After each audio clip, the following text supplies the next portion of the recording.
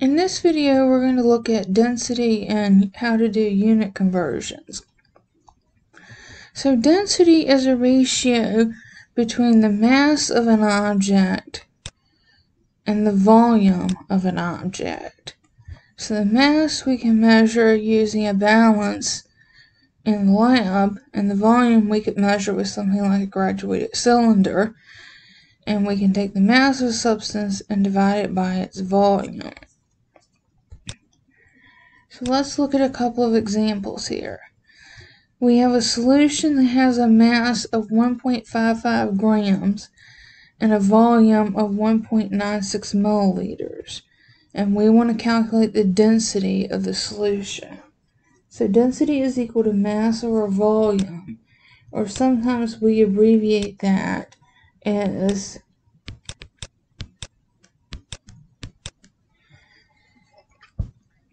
as D equals M over V. So if we plug in 1.55 grams divided by 1.96 milliliters, and go ahead and take out your calculator and be plugging this in and make sure you come up with the same answer that I did. If you divide 1.55 grams by 1.96 milliliters, you should come up with 0.791 grams per milliliter. And remember, we have to round to the correct number of significant figures. We're dividing here. 1.55 has three significant figures, and 1.96 has three significant figures. So our answer should have three significant figures. Density will typically be in units of grams per milliliter as we have here. Sometimes you will also see grams per cubic centimeter. And a cubic centimeter is really the same thing as a milliliter. It's just a different way of expressing that volume. So if you have a density given to you in cubic centimeters, you can also write that as grams per milliliter. Occasionally you will see other units, but these are the most common ones you will see. So let's take a look at another example here. A block of aluminum occupies a volume of 15 milliliters and weighs 40.5 grams. What is its density? So if we take mass over volume, we have 40.5 grams divided by 15 milliliters. And go ahead and put that into your calculator.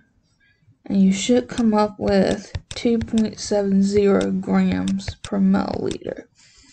Again, we have three significant figures in 40.5 and 3 and 15. So we're going to round off to three significant figures here.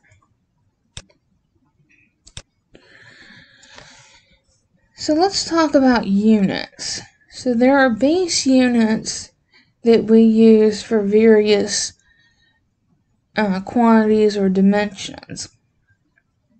And you should be familiar with the base units. So for mass, you might think the base unit would be grams, but actually we use a base unit of kilograms because grams are actually pretty small. A gram is about the weight of a paperclip.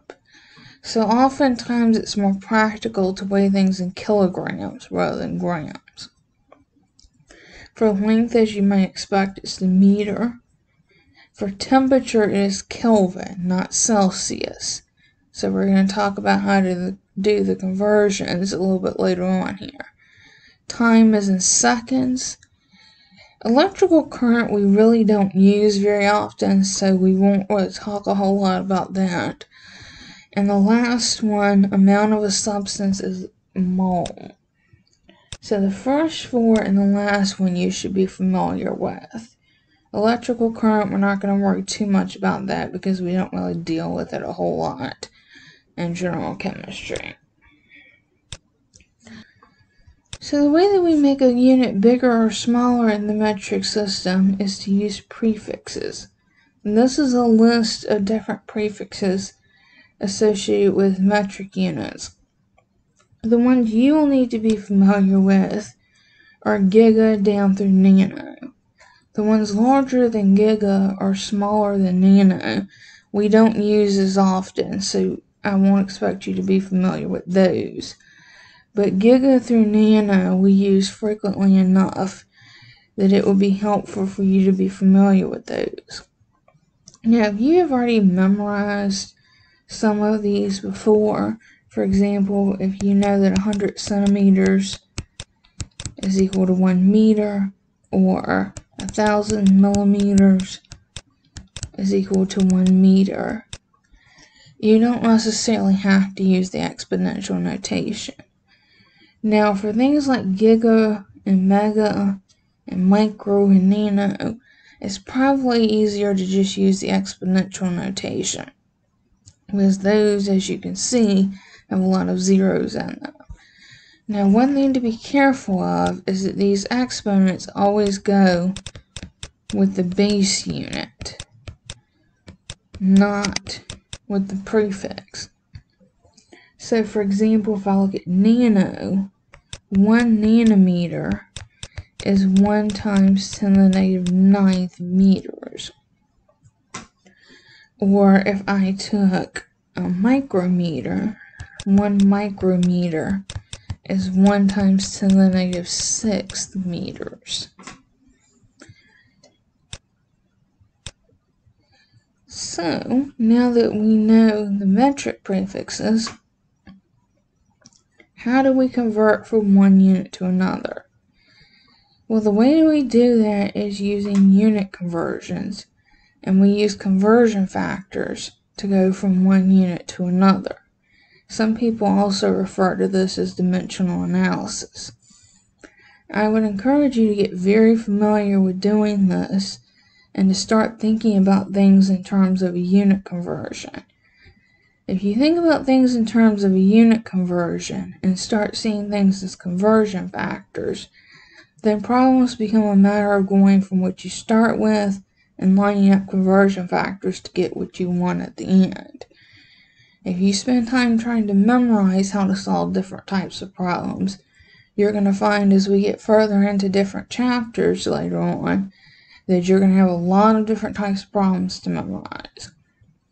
So start from the very beginning, getting used to setting things up as conversion factors and using those as a way to go from one place to another. So for example, if I have the conversion 1 kilometer equals 0.6214 meters, I can write that as 1 kilometer over 0.6214 meters, or I can write it as 0.6214, sorry, not meters, miles. 1 kilometer over 0.6214 miles over or 0.6214 miles over 1 kilometer. So I can write this either way. If I were going from miles to kilometers, I would want this conversion factor so that I would cancel out miles and end up with kilometers. Or if I were going from kilometers to miles, I would use this conversion factor. So let's take a look at an example here. Well, first let's look at how we set this up. We start with our initial units. We make sure our initial units are on the bottom of the next step and our desired units are on the top so that we end up with our desired units at the end. So let's take an example here. We have a car that travels a distance of 241 kilometers and we want to know that distance in miles. So if we start with 241 kilometers, we know from the last slide that 1 kilometer is 0.6214 miles. We have kilometers to start with, so we put kilometers on the bottom of the next step miles on the top of the next step so that kilometers cancels with kilometers and we're left with miles at the end, which is what we wanted. So put this into your calculator. Now we do not use the conversion factors when we're determining how many significant figures we should have. So all we're given, the problem is 241 kilometers, therefore we can only have three significant figures in our answer. So if you put this into your calculator, it comes out to 150 miles. Now I can put the decimal here so that I indicate that this zero is significant, but this isn't really a preferable way to write it because this is not clear. If you didn't notice that decimal here, you wouldn't realize that zero is significant. Technically, you shouldn't have a decimal unless we're going to put zeros after the decimal when, when we write a number like this. A better way to write it would be to write, to put this into scientific notation. And since we want three significant figures, we would write this as 1.50 times 10 to the 2 miles. Now we only need to put this into scientific notation because we want the zero to be significant. If I wasn't trying to make the zero significant, I could just leave this as 150 miles. Let's take a look at another example here. We want to convert 69.5 inches into meters. So we're starting with 69.5 inches. And we're given the conversion factor. We have inches to start with, so we're going to put inches on the bottom of the next step. And we're going to put meters on the top because we want to get rid of inches and have meters left over. If you put this into your calculator, you're going to put in 69.5 divided by 39.37. And since we're given 69.5, we're going to round this to three significant figures. So you should come up with 1.77 meters. So let's look at another example here. In this example, we're going to see a couple of things about how we can make different things into conversion factors. So let's start with the one at the top. Gemstones such as diamonds are usually sold in carats, and one carat is equal to 200 milligrams. We want to know the mass in SI units of the 44 carat Hope diamond which is the world's largest blue diamond. Now, if we look down at the second part of this question, we can see that we are going to need grams when we start the next conversion. So we're going to go ahead and convert the mass into grams in this first part so that we'll have that for the second part. So if we start with 44.4 carats,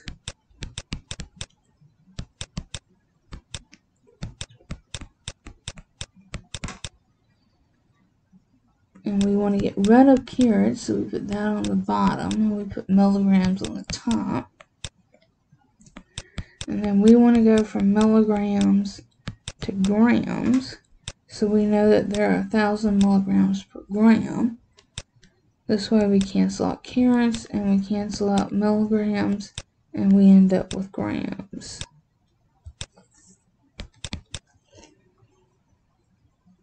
So, if you put this into your calculator, 44.4 times 200 divided by 1,000, we come up with 8.88 grams.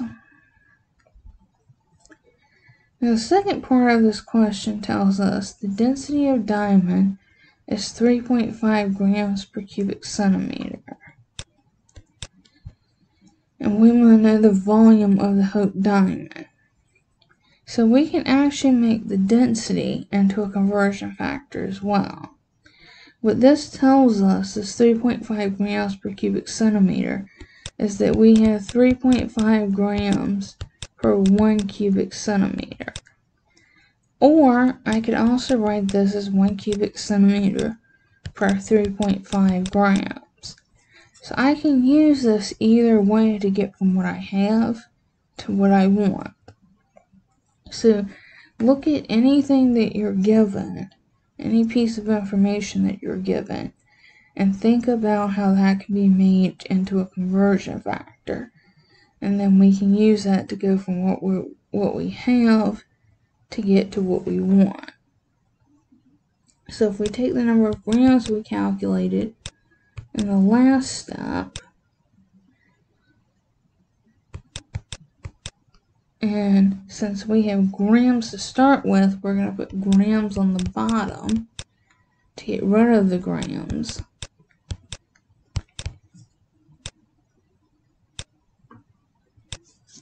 So grams cancels with grams, and we're left with cubic centimeters. Now keep the answer you had in your last step in your calculator. Don't use the rounded answer because that's only going to give you some error in your ending answer since you use a rounded answer. So make sure you're keeping the exact answer and then divide by 3.5. If you do that, you you should come up with 2.54 cubic centimeters.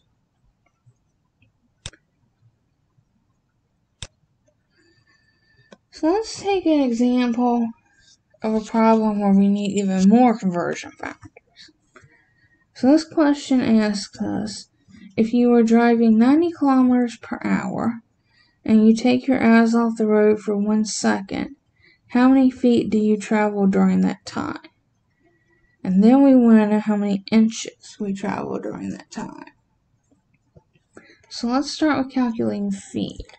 We have 90 kilometers per hour, which means 90 kilometers per one hour. Now we want to to convert that into feet per second. So we need to go from kilometers to feet and hours to seconds. So let's deal with the kilometers to feet piece first. So we have 1 kilometer equals 0.6214 miles, and we have 1 mile is 5,280 feet. So if we take 1 kilometer, we're going to put down the bottom because we want to get rid of kilometer. And then we also have one mile, which is 5,280 feet. So we're going to put one mile on the bottom and 5,280 feet on the top.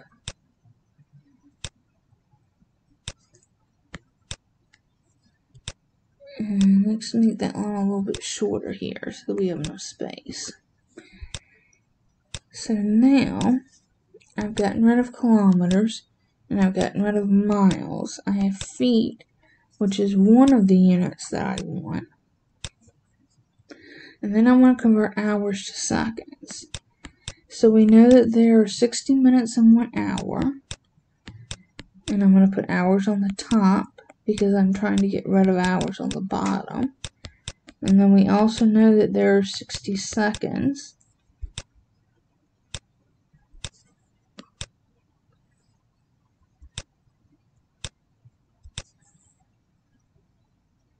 per one minute.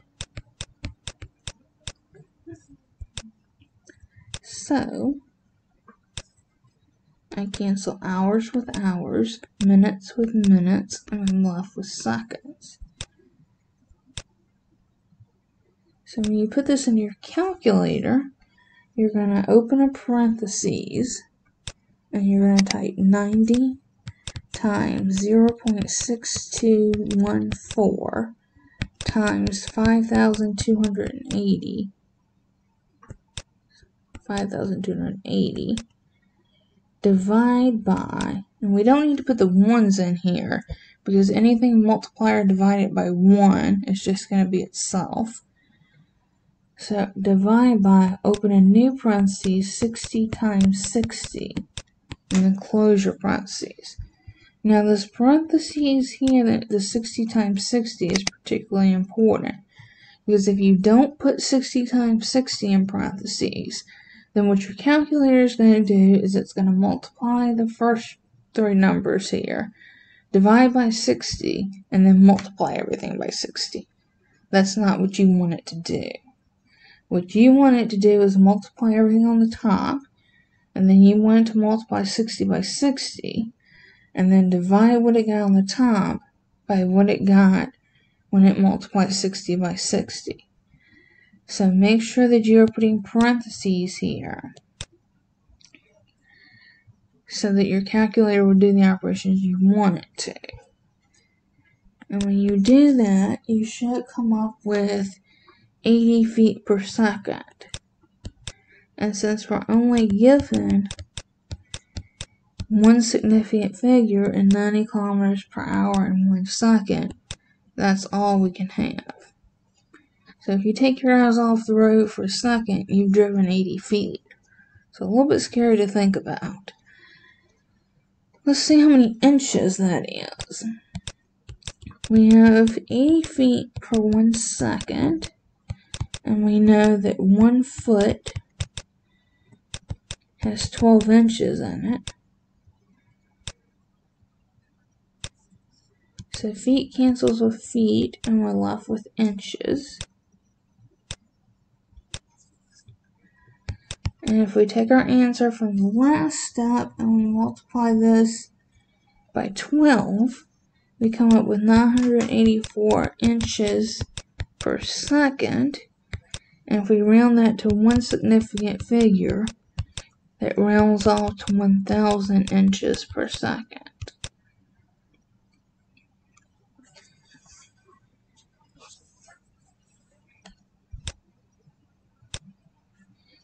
Okay, so let's talk a little bit about accuracy and precision. So we've been talking a little bit about measurement and converting units. So what do we do if we have multiple measurements? How do we know what's accurate and what's precise? When we measure something in chemistry or in science in general, we rarely only measure it one time. We usually measure it multiple times to make sure then our measurement is reproducible. What's even better is if we have other people who have made the same measurement and got answers close to ours, because it shows not only can we reproduce it, but that other people can reproduce it as well, which lends lends itself to the fact that our answer may be more accurate. So, How do we know if something's accurate? Well, accuracy is generally defined as agreement between a measured value and the accepted or true value. So saying true value is a little bit ambiguous because what exactly is a true value? Well, the true value is usually something that has been measured multiple times and it's been measured under standardized conditions and it's been verified, it's been peer reviewed, and it's been accepted in the literature as a standard value for that particular measurement. So if your measured value agrees with what is the accepted value, then your measurement is accurate. Precision is agreement upon repeated measurements. So if you measure something three times, and get answers that are relatively close to each other, then your measurement is precise. That doesn't guarantee that it's accurate, but it still can be precise. So, for example, if we look at the three dartboards we have here, so assuming we're trying to hit the bullseye, these three and A are all close together, but they're nowhere near the bullseye. So this would be precise, but it is not accurate.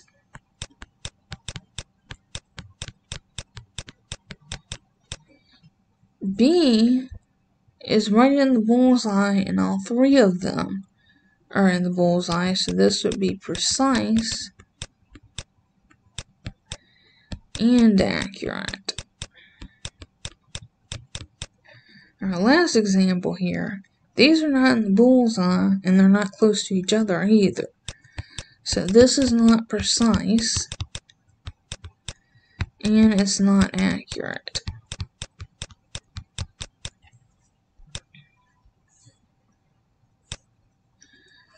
Okay, the last type of conversion that we need to talk about is temperature conversions.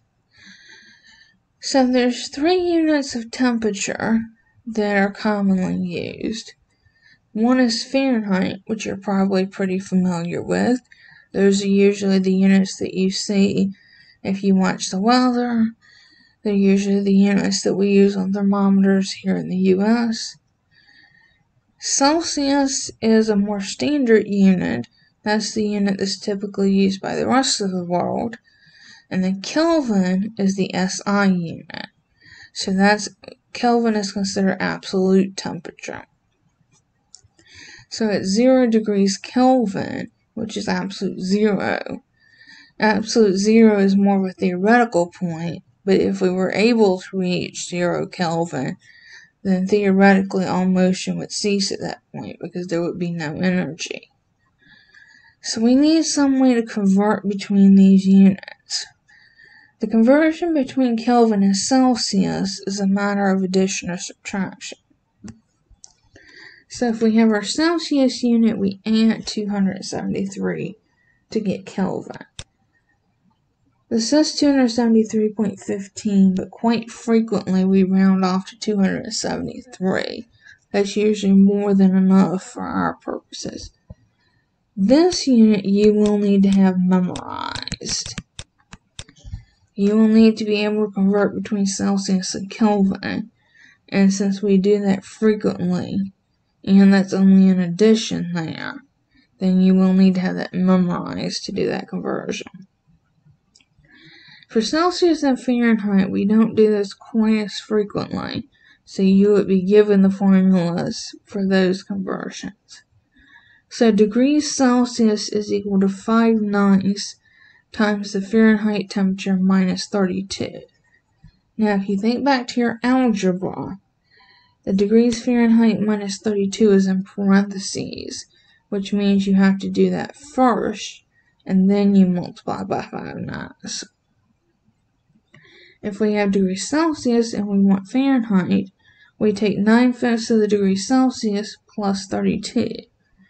So if you notice there's no parentheses here, which means we do 9 fifths of the degree Celsius, and then we add 32 to it. So let's take a look at a couple of examples here. We have liquid nitrogen, which is often used as a coolant for low temperature experiments, has a boiling point of 77 Kelvin. And we want to know what this temperature is on the Fahrenheit scale.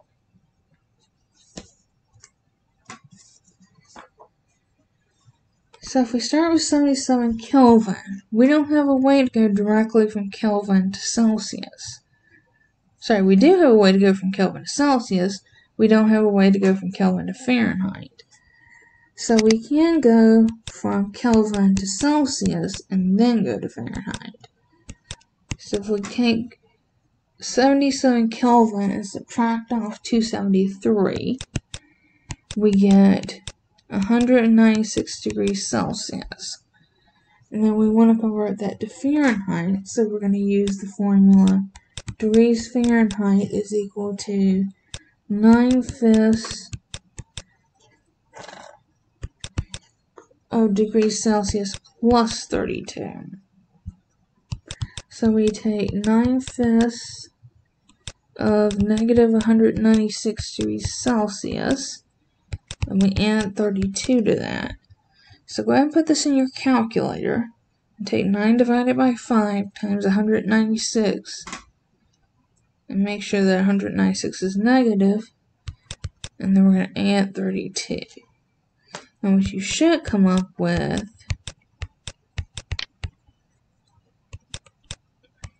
is negative 320 degrees Fahrenheit. Let's look at another example here.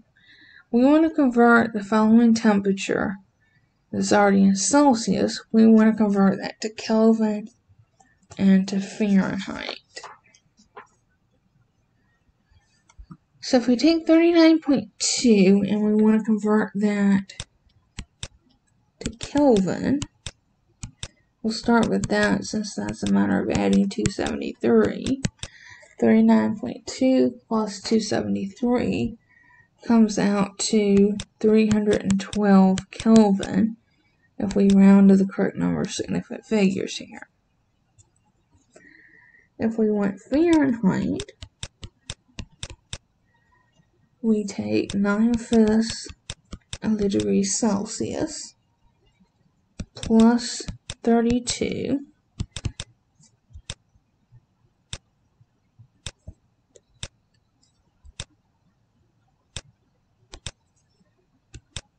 So 9 fifths of 39.2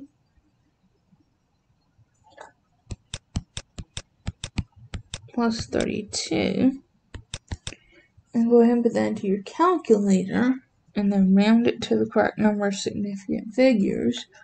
We have three significant figures in 39.2 so we should be rounding this to three significant figures which gives us 103 degrees Fahrenheit.